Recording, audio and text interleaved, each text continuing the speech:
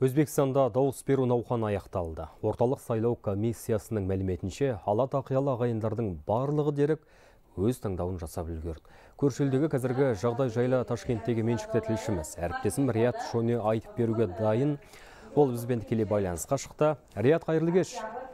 Өзбекстанда дауыс беру науқаны қалай өтті?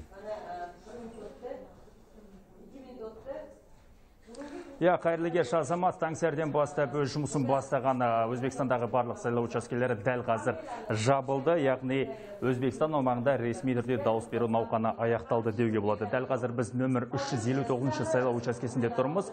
Қазір мінекей комиссия мүшелері дауыс беру парақтары салынған жәшікті басқа бөлмеге алып кетіп, ондағы пломбасын ашып, дауыс беру парақтарын есептеуге кіріскелі жатыр.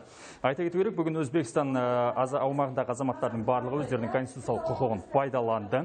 Қазір мұхиттың арғы жағында, яғни Вашингтон мен Нью-Йорк қалаларында ғана сайлау учаскелері жұмыс істеп тұр.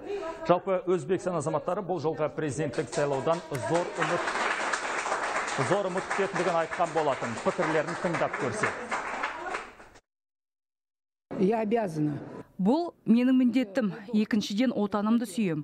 Зейнетақы көлемі өсіп зейнеткерлер мен жалғызбасты адамдарға көңіл бөлінсе екен деп тілеймін. Бұл сайлаулар өмірімде екінші рет сайлауға қатысып өз таңдауымды жасадым. Осы жолы дауыс беру белсенді өтіп жатқан сияқты. Сайлау еліміздегі әр саланың дамуына серпін беріп еліміз гүлдене түседі деп үміттенемін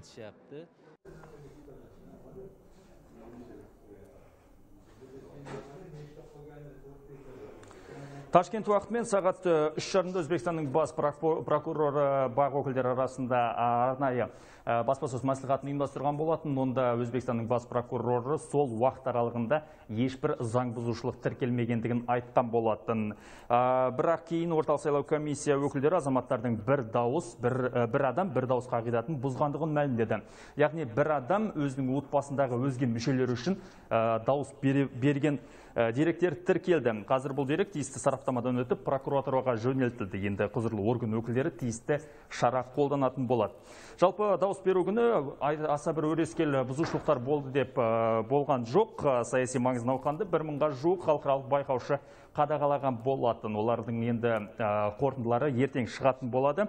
Тағы айта кету керек, Өзбекстанда экзит пол ұйымдастырылмайды. Алдын ала қорытындыларды білу мүмкін емес. Сондықтан орталық сайлау комиссиясы комиссиясының ресми жарияланымын күту қажет. Ал олардың заң жүзінде қарашаның үшіне дейін уақыттары бар.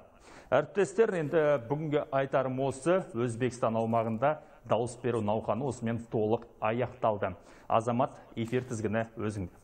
Рахмет, Рият. Қадірлі көрермен Өзбекстандағы сайлау жөнінде бізбен ақпаратты бөліскен әріптесім Рият Шони болатын.